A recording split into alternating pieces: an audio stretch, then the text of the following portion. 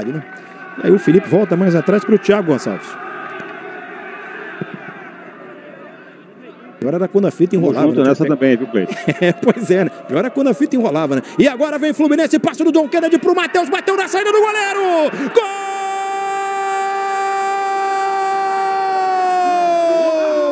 Eu só